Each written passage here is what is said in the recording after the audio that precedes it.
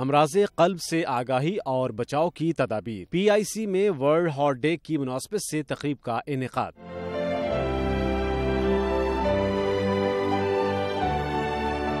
Head of department P I C professor Nadeem Hayat Malik, professor Shahid Hameed, doctor Bilal, doctor Mohsin سمیت nurses اور پیرا medical staff کی شرکت۔